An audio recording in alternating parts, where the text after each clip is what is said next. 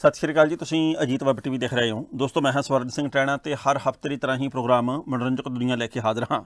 ਬਹੁਤ ਸਾਰੀਆਂ ਖਬਰਾਂ ਨੇ ਦੇਸ਼, ਦੁਨੀਆ ਦੇ ਵਿੱਚ ਜੋ ਕਲਾ ਖੇਤਰ ਨਾਲ ਜੁੜਦਾ, ਉਹਦੇ ਨਾਲ ਸੰਬੰਧਿਤ ਵੀ ਤੇ ਖਾਸ ਕਰਕੇ ਪੰਜਾਬ ਨਾਲ ਜੁੜੀਆਂ। ਦਲੇਰ ਮਹਿੰਦੀ ਇਸ ਵੇਲੇ ਪਟਿਆਲੇ ਵਾਲੀ ਜੇਲ੍ਹ ਦੇ ਵਿੱਚ ਮੁਨਸ਼ੀ ਦਾ ਜ਼ਿੰਮਾ ਨਿਭਾ ਰਹੇ ਆ। ਉਹਦੇ ਪਿੱਛੇ ਕਾਰਨ ਇਹ ਆ ਕਿ ਕਬੂਤਰਬਾਜ਼ੀ ਦੇ ਦੋਸ਼ ਦੇ ਵਿੱਚ ਪਿਛਲੇ ਦਿਨੀ ਮਾਨਯੋਗ ਅਦਾਲਤ ਦੇ ਵੱਲੋਂ ਦਲੇਰ ਮਹਿੰਦੀ ਨੂੰ ਝਟਕਾ ਦਿੱਤਾ ਗਿਆ, ਜਿਹਦੇ ਕਰਕੇ ਉਹ ਇਸ ਵਕਤ ਜੇਲ੍ਹ ਦੇ ਵਿੱਚ ਹੈ। ਮਾਨਯੋਗ ਅਦਾਲਤ ਦੇ ਵੱਲੋਂ ਹੁਣ ਜਦੋਂ ਹਾਈ ਕੋਰਟ ਦੇ ਵੱਲੋਂ ਕੋਈ ਸੁਣਵਾਈ ਕੀਤੀ ਗਈ, ਉਹ ਕੀ ਫੈਸਲਾ ਸੁਣਾਊ ਜਾਂ ਨਹੀਂ ਸੁਣਾਊ, ਇਹ ਆਉਣ ਵਾਲੇ ਵਕਤ ਦੇ ਉੱਤੇ ਨਿਰਭਰ ਕਰਨ ਦੀ ਗੱਲ ਹੈ। ਜੇ ਮੰਨ ਲਓ ਇਸ 2 ਸਾਲ ਦੀ ਸਜ਼ਾ ਨੂੰ ਹਾਈ ਕੋਰਟ ਦੇ ਵਿੱਚ ਵੀ ਨਾ ਕੈਂਸਲ ਕੀਤਾ ਗਿਆ, ਨਾ ਕੋਈ ਰਾਹਤ ਮਿਲੀ, ਨਾ ਜ਼ਮਾਨਤ ਮਿਲੀ, ਤਾਂ ਫਿਰ ਸੁਪਰੀਮ ਕੋਰਟ ਦਾ ਰਾਹ ਵੀ ਹੈਗਾ। ਪਰ ਫਿਲਹਾਲ ਦਲੇਰ ਮਹਿੰਦੀ ਦੀਆਂ ਚੁਣੌਤੀਆਂ ਦੇ ਵਿੱਚ ਵਾਧਾ ਹੋਇਆ ਪਿਆ। ਮਾਮਲਾ ਇਹ 2003 ਦਾ। 2003 ਦੇ ਵਿੱਚ ਇੱਕ ਵਿਅਕਤੀ ਦੇ ਵੱਲੋਂ ਬਖਸ਼ੀਸ਼ ਸਿੰਘ ਉਹਨਾਂ ਦਾ ਨਾਂ ਸੀਗਾ। ਉਹਨਾਂ ਨੇ ਸ਼ਿਕਾਇਤ ਦਰਜ ਕਰਵਾਈ ਸੀ ਪੁਲਿਸ ਥਾਣੇ ਦੇ ਵਿੱਚ ਕਿ ਦਲੇਰ ਮਹਿੰਦੀ ਨੇ 12 ਲੱਖ ਰੁਪਈਆ ਲਿਆ ਸਾਡੇ ਕੋਲੋਂ। ਨਾ ਤਾਂ ਕੈਨੇਡਾ ਪਹੁੰਚਾਇਆ ਤੇ ਨਾ ਹੀ ਪੈਸੇ ਮੋੜੇ ਤੇ ਉਸ ਤੋਂ ਬਾਅਦ 30 ਦੇ ਕਰੀਬ ਸ਼ਿਕਾਇਤਾਂ ਭਾਰਤ ਦੇ ਵੱਖ-ਵੱਖ ਹਿੱਸਿਆਂ ਦੇ ਵਿੱਚੋਂ ਦਲੇਰ ਮਹਿੰਦੀ ਦੇ ਖਿਲਾਫ ਹੋਈਆਂ। 15 ਸਾਲ ਬਾਅਦ ਯਾਨੀ ਕਿ 2000 ਤੇ 18 ਦੇ ਵਿੱਚ ਦਲੇਰ ਮਹਿੰਦੀ ਨੂੰ 2 ਸਾਲ ਦੀ ਕੈਦ ਤੇ 2000 ਰੁਪਏ ਦਾ ਜੁਰਮਾਨਾ ਹੋਇਆ। ਪਰ ਕਿਉਂਕਿ 3 ਸਾਲ ਤੋਂ ਘੱਟ ਦੀ ਸਜ਼ਾ ਸੀ, ਇਸ ਕਰਕੇ ਦਲੇਰ ਮਹਿੰਦੀ ਨੂੰ ਜ਼ਮਾਨਤ ਵੀ ਮਿਲ ਗਈ।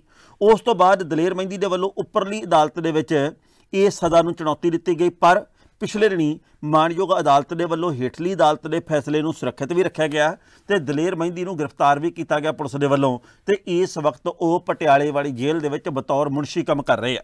ਕਮਾਲ ਦੀ ਗੱਲ ਇਹ ਆ ਕਿ ਦਲੇਰ ਮਹਿੰਦੀ ਤੇ ਨਵਜੋਤ ਸਿੰਘ ਸਿੱਧੂ ਜਿਹੜੇ ਕਿ ਪੁਰਾਣੇ ਤੇ ਪੱਕੇ ਮਿੱਤਰ ਆ, ਕਈ ਪ੍ਰੋਗਰਾਮਾਂ ਦੇ ਵਿੱਚ ਇਕੱਠੇ ਵੀ ਹੁੰਦੇ ਰਹੇ ਆ, ਉਹ ਹੁਣ ਇੱਕੋ ਬੈਰਕ ਦੇ ਵਿੱਚ ਆ ਗਏ ਆ। ਨਵਜੋਤ ਸਿੰਘ ਸਿੱਧੂ ਉਸੇ ਬੈਰਕ ਦੇ ਵਿੱਚ ਕਲੈਰੀਕਲ ਕੰਮ ਕਰਦੇ ਆ ਤੇ ਉਸੇ ਬੈਰਕ ਦੇ ਵਿੱਚ ਦਲੇਰ ਮਹਿੰਦੀ ਹੁਣ ਮੁਨਸ਼ੀ ਦਾ ਕੰਮ ਅਦਾ ਕਰ ਰਹੇ ਆ, ਮੁਨਸ਼ੀ ਦੀ ਜ਼ਿੰਮੇਵਾਰੀ ਨਿਭਾ ਰਹੇ ਆ।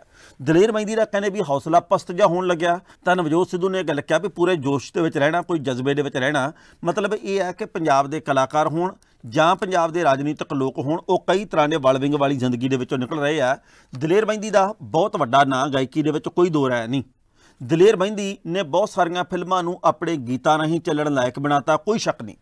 ਦਲੇਰ ਮਹਿੰਦੀ ਤੇ ਉਹਨਾਂ ਦੇ ਭਰਾ ਸਾਰੇ ਕਲਾਵਾਨ ਰਹੇ ਆ, ਇਹਦੇ ਵਿੱਚ ਕੋਈ ਦੋ ਰਾਇ ਨਹੀਂ। ਪਰ ਇਹ ਵੀ ਗੱਲ ਸੱਚੀ ਆ, ਇਹਦੇ ਵਿੱਚ ਵੀ ਦੋ ਰਾਇ ਨਹੀਂ ਕਿ ਕਬੂਤਰਬਾਜ਼ੀ ਦੇ ਮਾਮਲੇ ਦੇ ਵਿੱਚ ਉਹਨਾਂ ਦੀ ਮਿੱਟੀ ਬਹੁਤ ਪੱਟੀ ਗਈ, ਉਹਨਾਂ ਦਾ ਅਕਸ ਬੜਾ ਵਿਗੜਿਆ, ਉਹਨਾਂ ਦੀ ਇਮੇਜ ਨੂੰ ਬਹੁਤ ਵੱਡੀ ਸੱਟ ਵੱਜੀ ਆ। ਮੈਨੂੰ ਨਹੀਂ ਪਤਾ ਵੀ ਇਸ ਮਾਮਲੇ ਦੇ ਉੱਤੇ ਮਾਨਯੋਗ ਅਦਾਲਤ ਨੇ ਆਉਂਦੇ ਸਮੇਂ 'ਚ ਕੀ ਫੈਸਲਾ ਸੁਣਾਉਣਾ। ਇਹ ਦੋਸ਼ ਸੱਚੇ ਆ ਜਾਂ ਝੂਠੇ ਆ, ਅਸੀਂ ਇਹਦੇ ਬਾਰੇ ਪੁਸ਼ਟੀ ਨਹੀਂ ਕਰਦੇ, ਇਹ ਅਦਾਲਤਾਂ ਦਾ ਕੰਮ ਹੈਗਾ। ਪਰ ਇਹ ਗੱਲ ਸੱਚੀ ਹੈ ਵੀ ਲੰਘੇ ਵੇਲੇ ਦੇ ਵਿੱਚ ਪੰਜਾਬ ਦੇ ਕਈ ਕਲਾਕਾਰਾਂ ਨੇ ਕਬੂਤਰਬਾਜ਼ੀ ਦੇ ਵਿੱਚ ਬਹੁਤ ਨਾਂ ਖੱਟਿਆ ਤੇ ਨਾਵਾਂ ਵੀ ਖੱਟਿਆ। ਉਹਨਾਂ ਨੇ ਇੱਥੋਂ ਬੰਦੇ ਲਗਾਏ, ਕੋਈ ਕਬੂਤਰਬਾਜ਼ੀ ਦੇ ਵਿੱਚ ਢੋਲਕੀ ਵਾਲਾ ਬਣਾ ਕੇ ਲਗਿਆ ਕੋਈ ਲੈ ਗਿਆ ਜੀ ਉੱਥੇ ਸਾਜੀ ਬਣਾ ਕੇ ਹੋਰ ਵੀ ਭਾਈ ਚਲੋ ਬੰਜੋ ਵਜਾਉਂਦਾ, ਕੋਈ ਕਹਿੰਦਾ ਜੀ ਇਹ ਸਾਡਾ ਹੈਗਾ ਜੀ ਕੋਰਸ ਬੋਲਣ ਵਾਲਾ, ਕੋਈ ਮੈਨੇਜਰ ਬਣ ਕੇ ਗਿਆ, ਕੋਈ ਹੋਰ ਕੋਈ ਕੰਮਕਾਜ ਕਰਨ ਵਾਲਾ ਬਣ ਕੇ ਗਿਆ ਤੇ ਉਹਨਾਂ ਦੇ ਵਿੱਚੋਂ ਅੱਧੇ ਕੁ ਮੁੜਾਉਂਦੇ ਸੀ ਤੇ ਅੱਧੇ ਕੁ ਉੱਥੇ ਰਹਿ ਜਾਂਦੇ ਸੀ। ਇਹ ਕਈ ਪ੍ਰਮੋਟਰਾਂ ਦੀ ਮਿਲੀ ਭੁਗਤ ਦੇ ਨਾਲ ਵੀ ਹੁੰਦਾ ਰਿਹਾ। ਸੋ ਉਹਨਾਂ ਕਲਾਕਾਰਾਂ ਦੇ ਵੱਲੋਂ ਜਿਨ੍ਹਾਂ ਨੇ ਵੀ ਇਹ ਗਲਤ ਕੰਮ ਕੀਤੇ ਆ ਉਹਨਾਂ ਦੇ ਕਰਕੇ ਜਿਹੜੇ ਕੰਡੇ ਬੀਜੇ ਗਏ ਆ, ਉਹ ਅੱਜ ਸਹੀ ਲੋਕਾਂ ਦੇ ਵੀ ਮੂਹਰੇ ਆ ਰਹੇ ਆ। ਸੋ ਲੰਮੇ ਸਮੇਂ ਤੋਂ ਇਹ ਖਬਰਾਂ ਸੁਣਨ ਨੂੰ ਮਿਲਦੀਆਂ ਕਿ ਕਈ ਵਾਰੀ ਐਮਬੈਸੀ ਨੂੰ ਯਕੀਨ ਬਣਾਉਣਾ ਔਖਾ ਹੋ ਜਾਂਦਾ ਕਿ ਮੈਂ ਸਹੀ ਬੰਦਾ, ਯਾਨੀ ਕਿ ਇਹੋ ਜਿਹਾ ਕੰਮ ਹੁੰਦਾ ਰਿਹਾ। ਦਲੇਰ ਮਹਿੰਦੀ ਨੇ ਇਹ ਕੀਤਾ ਕਿ ਨਹੀਂ ਕੀਤਾ, ਇਹ ਹੁਣ ਮਾਨਯੋਗ ਅਦਾਲਤ ਦਾ ਫੈਸਲਾ। ਗਾਇਕ ਬੱਬੂ ਮਾਨ ਨੇ ਪਿਛਲੇ ਦਿਨੀ ਇੱਕ ਸਟੇਜ ਸ਼ੋਅ ਦੇ ਵਿੱਚ ਜਿਹੜੀਆਂ ਗੱਲਾਂ ਕਹੀਆਂ, ਉਹਨਾਂ ਨੇ ਸਭ ਦਾ ਧਿਆਨ ਆਪਣੇ ਵੱਲ ਖਿੱਚਿਆ। ਬੱਬੂ ਮਾਨ ਨੂੰ ਕਈ ਲੋਕ ਕਈ ਤਰ੍ਹਾਂ ਦੀਆਂ ਟਿੱਪਣੀਆਂ ਕਰਦੇ ਆ ਫੇਸਬੁੱਕ ਦੇ ਉੱਤੇ ਲੋਕ ਟਿੱਪਣੀਆਂ ਕਰਦੇ ਹੀ ਹੁੰਦੇ ਆ।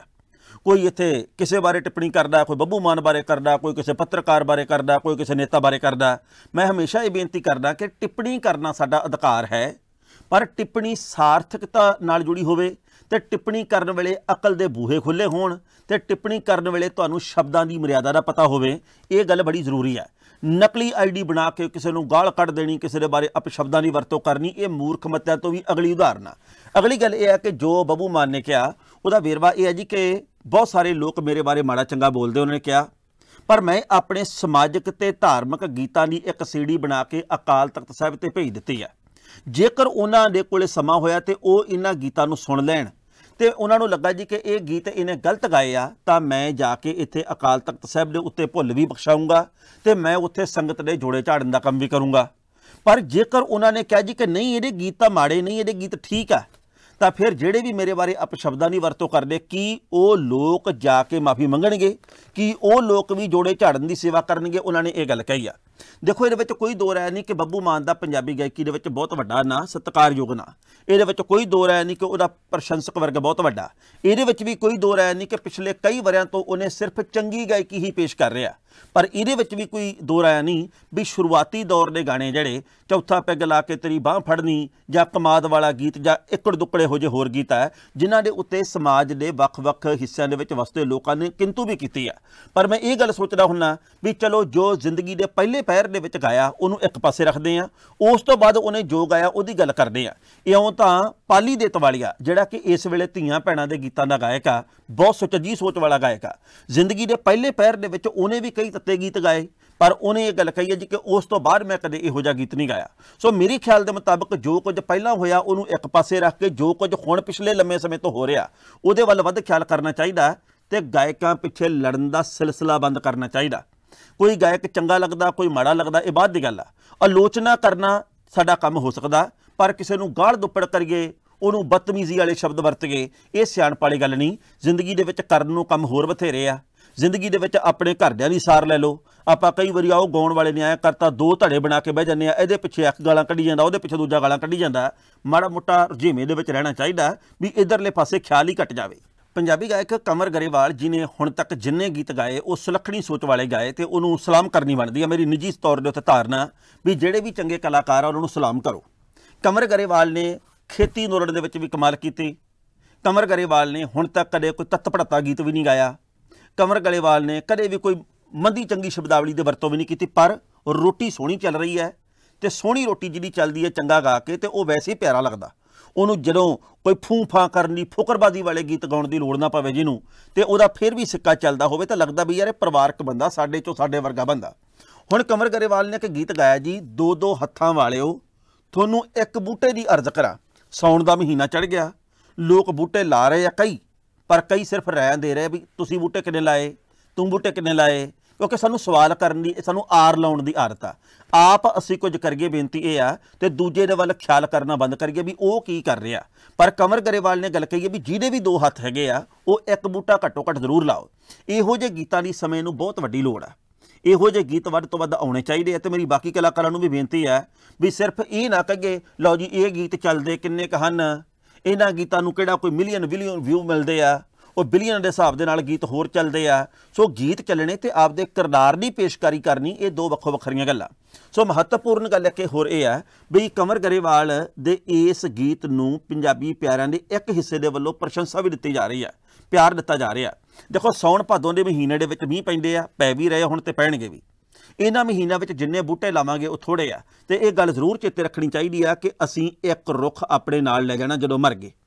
ਜਦੋਂ ਅਸੀਂ ਮਰ ਗਏ, ਇੱਕ ਰੁੱਖ ਸਾਨੂੰ ਫੂਕਣ ਦੇ ਉੱਤੇ ਲੱਗ ਜਾਣਾ, ਘੱਟੋ ਘੱਟ ਸਾਨੂੰ ਉਹ ਦਰਖਤ, ਉਹ ਬੂਟਾ ਤਾਂ ਲਾ ਲੈਣਾ ਚਾਹੀਦਾ। ਪਿਛਲੇ ਦਿਨੀ ਸੰਗਰੂਰ ਤੋਂ ਸੰਸਦ ਮੈਂਬਰ ਸਿਮਰਨਜੀਤ ਸਿੰਘ ਮਾਨ ਦੇ ਵੱਲੋਂ ਸ਼ਹੀਦ ਭਗਤ ਸਿੰਘ ਨੂੰ ਸ਼ਹੀਦ ਮੰਨਣ ਤੋਂ ਇਨਕਾਰ ਕਰਕੇ ਤੇ ਅੱਤਵਾਦੀ ਗਰਦਾਨਿਆ ਗਿਆ। ਇਸ ਗੱਲ ਦੇ ਉੱਤੇ ਰਾਜਨੀਤਿਕ ਲੋਕਾਂ ਨੇ ਬਹੁਤ ਵੱਡੇ ਪੱਧਰ ਤੇ ਵਿਰੋਧਤਾ ਕੀਤੀ ਹੈ। ਇਹ ਪਤਾ ਨਹੀਂ ਵੀ ਕਿਹੜੀ ਸੋਚ ਹੋਊਗੀ ਮਾਨ ਸਾਹਿਬ ਦੀ, ਉਹ ਕਿਉਂ ਵਾਰ-ਵਾਰ ਕਹਿੰਦੇ, ਇੱਕ ਵਾਰ ਨਹੀਂ, ਬਹੁਤ ਵਾਰੀ ਕਿਹਾ। ਉਹਨਾਂ ਦਾ ਕਹਿਣਾ ਜੀ ਕਿ ਇੱਕ ਆਈਪੀਐਸ ਅਧਿਕਾਰੀ ਤੇ ਇੱਕ ਸਿੱਖ ਅਮਰਤਾਰੀ ਵਿਅਕਤੀ ਹੈ ਜਿਹੜਾ ਉਹਦਾ ਕਤਲ ਕੀਤਾ ਗਿਆ। ਜਾਣਬੁੱਝ ਕੇ ਜਾਂ ਕਹਿ ਦਈਏ ਵੀ ਉਹਨੇ ਵੱਲੋਂ ਬੇਕਸੂਰਾਂ ਦਾ ਕਤਲ ਕਰ ਦਿੱਤਾ ਗਿਆ। ਅਸੈਂਬਲੀ ਦੇ ਵਿੱਚ ਸ਼ਹੀਦ ਭਗਤ ਸਿੰਘ ਦੇ ਵੱਲੋਂ ਬੰਬ ਸੁੱਟਿਆ ਗਿਆ। ਇਹਨਾਂ ਗੱਲਾਂ ਕਰਕੇ ਮਾਨਹੋਰੀ ਕਹਿੰਦੇ ਜੀ ਕਿ ਅਸੀਂ ਉਹਨੂੰ ਅੱਤਵਾਦੀ ਮੰਨਦੇ ਆ ਪਰ ਹੈਰਾਨੀ ਹੁੰਦੀ ਹੈ ਇਸ ਗੱਲ ਦੇ ਉੱਤੇ ਕਿ ਅਸੀਂ ਸ਼ਹੀਦਾਂ ਨੂੰ ਸ਼ਹੀਦ ਮੰਨਣ ਤੋਂ ਇਨਕਾਰੀ ਹੁੰਨੇ ਆ ਤੇ ਸਾਡੇ ਸ਼ਹੀਦ ਕੌਣ ਹੋਣ, ਇਹਦੇ ਬਾਰੇ ਵੀ ਕਈ ਵਾਰੀ ਚਰਚਾ ਛੜ ਪੈਂਦੀ ਹੈ। ਪਤਾ ਨਹੀਂ ਇਹਦੇ ਬਾਰੇ ਲੋਕਾਂ ਦੀ ਕੀ ਵਿਚਾਰਧਾਰਾ ਹੋ ਸਕਦੀ ਹੈ, ਮੈਂ ਹੈਰਾਨ ਹੁੰਨਾ ਕਦੇ-ਕਦੇ। ਪਰ ਭਗਤ ਸਿੰਘ ਵਰਗੇ ਲੋਕਾਂ ਨੂੰ ਰਾਜਗੁਰੂ ਸੁਖਦੇਵ, ਚੰਦਰ ਸ਼ੇਖਰ ਆਜ਼ਾਦ, ਹੋਰ ਬਹੁਤ ਸਾਰੀਆਂ ਸ਼ਖਸੀਅਤਾਂ, ਕਰਤਾਰ ਸਿੰਘ ਸਰਾਭਾ, ਇਹਨਾਂ ਲੋਕਾਂ ਨੂੰ ਮੇਰਾ ਖਿਆਲ ਆ ਵੀ ਸ਼ਹੀਦ ਲਿਖੀਏ ਜਾਂ ਕਹੀਏ, ਇਹ ਕੋਈ ਬੜੀ ਜ਼ਰੂਰਤ ਨਹੀਂ, ਕਿਉਂਕਿ ਇਹਨਾਂ ਦੇ ਬਾਰੇ ਪਤਾ ਵੀ ਇਹਨਾਂ ਨੇ ਸਾਡੇ ਦੇਸ਼ ਲਈ ਕੀ ਕੀਤਾ। ਇਹਨਾਂ ਨੇ ਕੀ ਕੁਝ ਆਪਣੀਆਂ ਕੁਰਬਾਨੀਆਂ ਦੇ ਰੂਪ ਦੇ ਵਿੱਚ ਕੀਤਾ। ਸੋ ਬੇਨਤੀ ਇਹ ਜੀ ਕਿ ਅਸੀਂ ਸ਼ਹੀਦਾਂ ਦਾ ਸਤਿਕਾਰ ਕਰੀਏ, ਅਸੀਂ ਵਿਅਕਤੀ ਵਿਸ਼ੇਸ਼ ਦੇ ਬਾਰੇ ਕੋਈ ਮਾੜੀ ਟਿੱਪਣੀ ਨਾ ਕਰੀਏ। ਤੇ ਉਸ ਤੋਂ ਅਗਲੀ ਗੱਲ ਇਹ ਹੈ ਮਹੱਤਵਪੂਰਨ ਕਿ ਗਾਇਕਾਂ ਦੇ ਵੱਲੋਂ ਵੀ ਇਹ ਗੱਲ ਕਹੀ ਗਈ ਹੈ ਕਿ ਭਗਤ ਸਿੰਘ ਨੂੰ ਸ਼ਹੀਦ ਹੀ ਮੰਨਾਂਗੇ। ਅਸੀਂ ਅੱਤਵਾਦੀ ਕਹਿਣ ਦੀ ਗੁਸਤਾਖੀ ਨਹੀਂ ਕਰ ਸਕਦੇ ਤੇ ਜਸਬੀਰ ਜੱਸੀ ਜਿਹੜੇ ਕਿ ਪੰਜਾਬ ਦੇ ਵੱਡੇ ਕਲਾਕਾਰ ਆ, ਉਹਨਾਂ ਨੇ ਇਹ ਗੱਲ ਕਹੀ ਹੈ ਕਿ ਦੇਸ਼ ਨੂੰ ਸ਼ਹੀਦ ਭਗਤ ਸਿੰਘ ਵਰਗੇ ਲੋਕਾਂ ਦੀ ਹੀ ਲੋੜ ਹੈ। ਇਹ ਦੇਸ਼ ਸ਼ਹੀਦ ਭਗਤ ਸਿੰਘ ਵਰਗੇ ਲੋਕਾਂ ਦਾ ਹੀ ਹੈ। ਉਹਨਾਂ ਦਾ ਕੋਈ ਬਦਲ ਨਹੀਂ ਹੋ ਸਕਦਾ। ਉਹਨਾਂ ਨੇ ਆਪਣੀ ਟੀ-ਸ਼ਰਟ ਦੇ ਉੱਤੇ ਫੋਟੋ ਲੱਗੀ ਹੋਈ ਹੈ ਤੇ ਉਹਦੀ ਪੇਸ਼ਕਾਰੀ ਕਰਕੇ ਉਹਨਾਂ ਨੇ ਖੜ ਕੇ ਤੇ ਆਪਦੇ ਦਿਲ ਦੇ ਮਨ ਦੇ ਬਲਬਲੇ ਇੰਸਟਾਗ੍ਰam ਦੇ ਉੱਤੇ ਪਾਏ ਆ, ਉਹਦੀ ਵੀ ਖਾਸੀ ਚਰਚਾ ਛਿੜੀ ਆ। ਸੋ ਸ਼ਹੀਦਾਂ ਦੀ ਕਦਰ ਕਰੀਏ ਤੇ ਸ਼ਹੀਦਾਂ ਦੇ ਸੁਪਨਿਆਂ ਦਾ ਸਮਾਜ ਸੱਚੀ ਮੁੱਚੀ ਸਿਰਜਿਆ ਜਾਵੇ, ਇਹਦੀ ਅਸੀਂ ਕਾਮਨਾ ਕਰਦੇ ਆ। ਫਿਲਹਾਲ ਜਾਣਕਾਰੀ ਇੰਨੀ ਹੀ, ਹੁਣ ਦਿਓ ਆ ਗਿਆ। ਅਗਲੇ ਹਫ਼ਤੇ ਮਨੋਰੰਜਕ ਦੁਨੀਆ ਤਹਿਤ ਕੁਝ ਹੋਰ ਖਬਰਾਂ ਲੈ ਕੇ ਫਿਰ ਹਾਜ਼ਰ ਹੋਵਾਂਗੇ। ਬਹੁਤ ਬਹੁਤ ਧੰਨਵਾਦ। ਸਤਿ ਸ਼੍ਰੀ ਅਕਾਲ ਸਾਰਿਆਂ ਨੂੰ। ਮੇਰਾ ਨਾਮ ਵਿਵੇਕ ਸੈਣੀ ਹੈ ਤੇ ਮੈਂ ਗੁਰਦਾਸਪੁਰ ਚ ਰਹਿਣਾ ਤੇ ਮੈਂ ਆਪਣਾ ਵੀਜ਼ਾ ਲਵਾਉਣ ਵਾਸਤੇ ਆਜ਼ੀ ਹਬ ਨੂੰ ਕੰਟੈਕਟ ਕੀਤਾ ਸੀ ਤੇ ਮੇਰਾ ਵੀਜ਼ਾ 10 ਤੋਂ 12 ਵਰਕਿੰਗ ਡੇਜ਼ ਵਿੱਚ ਆ ਗਿਆ ਹੈ। ਤੇ ਜੇ ਤੁਸੀਂ ਵੀ ਚਾਹੁੰਦੇ ਹੋ ਕਿ ਤੁਹਾਡਾ ਵੀਜ਼ਾ ਵੀ ਛੇਤੀ ਤੋਂ ਛੇਤੀ ਆਏ ਤੇ ਆਜ਼ੀ ਹਬ ਇਮੀਗ੍ਰੇਸ਼ਨ ਗੁਰਦਾਸਪੁਰ ਨੂੰ ਕੰਟੈਕਟ ਕਰੋ। ਜੇ ਇਹਨਾਂ ਵਾਂਗ ਤੁਸੀਂ ਵੀ ਸਾਰੇ ਸਟੂਡੈਂਟਸ ਆਪਣਾ ਆਸਟ੍ਰੇਲੀਆ ਜਾਣ ਦਾ ਸੁਪਨਾ ਸਾਕਾਰ ਕਰਨਾ ਚਾਹੁੰਦੇ ਹੋ ਤਾਂ ਵਿਜ਼ਿਟ ਕਰੋ ਸਾਡੇ office Aussie hub immigration Gurdaspur branch ਵਿੱਚ। ਗੈਪ ਔਰ ਵਿਦਆਊਟ ਗੈਪ ਵਾਲੇ ਸਟੂਡੈਂਟਸ ਦੋਨੋਂ ਵਿਜ਼ਿਟ ਕਰੋ। ਉਹਨਾਂ ਦਾ ਆਸਟ੍ਰੇਲੀਆ ਜਾਣ ਦਾ ਸੁਪਨਾ ਅਸੀਂ ਕਰਾਂਗੇ ਸਾਕਾਰ। ਥੈਂਕ ਯੂ ਥੈਂਕ ਯੂ ਦੇਸ਼ ਦੁਨੀਆ ਦੀਆਂ ਤਾਜ਼ਾ ਖਬਰਾਂ ਦੇ ਲਈ ਹੁਣੇ ਪਲੇ ਸਟੋਰ ਤੋਂ ਡਾਊਨਲੋਡ ਕਰੋ ਪੰਜਾਬ ਦੀ ਆਵਾਜ਼ ਅਜੀਤ ਨਿਊਜ਼ ਐਪ ਹੁਣ ਤੁਹਾਡਾ ਆਪਣਾ ਅਜੀਤ ਹਰ ਸੋਸ਼ਲ ਮੀਡੀਆ ਪਲੇਟਫਾਰਮ ਦੇ ਉੱਤੇ ਉਪਲਬਧ ਹੈ। ਫੇਸਬੁੱਕ ਦੇ ਉੱਤੇ ਹੁਣੇ ਲਾਈਕ ਤੇ ਫੋਲੋ ਕਰੋ ਅਜੀਤ ਦਾ ਅਫੀਸ਼ੀਅਲ ਪੇਜ ਡੇਲੀ ਅਜੀਤ ਤੇ ਹਾਂ, ਨਾਲ ਹੀ ਦੋਸਤਾਂ ਨੂੰ ਪੇਜ ਲਾਈਕ ਕਰਨ ਦੇ ਲਈ ਇਨਵਾਈਟ ਕਰਨਾ ਨਾ ਭੁੱਲਣਾ। ਇੰਨਾ ਹੀ ਨਹੀਂ, ਹਿੰਦੀ ਦੇ ਵਿੱਚ ਖਬਰਾਂ ਵਾਸਤੇ ਲਾਈਕ ਤੇ ਫੋਲੋ ਕਰੋ ਸਾਡਾ ਫੇਸਬੁੱਕ ਪੇਜ ਅਜੀਤ ਸਮਾਚਾਰ ਹਿੰਦੀ। YouTube ਦੇ ਉੱਤੇ ਵੀਡੀਓ ਖਬਰਾਂ ਦੇਖਣ ਦੇ ਲਈ ਹੁਣੇ ਸਬਸਕ੍ਰਾਈਬ ਕਰੋ ਅਜੀਤ ਦਾ official YouTube channel Ajit web TV ਤੁਹਾਡਾ ਆਪਣਾ ਅਜੀਤ ਹੁਣ ਟਵਿੱਟਰ ਤੇ ਇੰਸਟਾਗ੍ਰam ਦੇ ਉੱਤੇ ਵੀ ਉਪਲਬਧ ਹੈ। ਟਵਿੱਟਰ ਦੇ ਉੱਤੇ ਖਬਰਾਂ ਦੇ ਲਈ ਫੋਲੋ ਕਰੋ ਡੇਲੀ ਅਜੀਤ ਤੇ ਇੰਸਟਾਗ੍ਰam ਦੇ ਉੱਤੇ ਖਬਰਾਂ ਦੇ ਨਾਲ-ਨਾਲ ਵੀਡੀਓ ਦੇਖਣ ਦੇ ਲਈ ਫੋਲੋ ਕਰੋ ਬਲੂ ਟਿਕ ਵਾਲਾ। ਸਾਡਾ ਅਫੀਸ਼ੀਅਲ ਚੈਨਲ ਡੇਲੀ ਅਜੀਤ ਇਹਨਾਂ ਹੀ ਨਹੀਂ, ਅਜੀਤ ਦੇ ਵੀਡੀਓ ਹੁਣ ਤੁਸੀਂ Apple TV ਦੇ ਉੱਤੇ ਵੀ ਵੇਖ ਸਕਦੇ ਹੋ। ਤੇ ਨਾਲ ਹੀ ਅਜੀਤ ਅਖਬਾਰ ਦਾ ਡਿਜੀਟਲ ਐਡੀਸ਼ਨ ਪੜ੍ਹਨ ਦੇ ਲਈ ਡਾਊਨਲੋਡ ਕਰੋ ਅਜੀਤ ਈ-ਪੇਪਰ ਐਪ ਤੁਹਾਡਾ ਆਪਣਾ ਭਰੋਸੇਯੋਗ ਚੈਨਲ ਤੁਹਾਡੀ ਆਪਣੀ ਆਵਾਜ਼, ਪੰਜਾਬ ਦੀ ਆਵਾਜ਼ ਅਜੀਤ।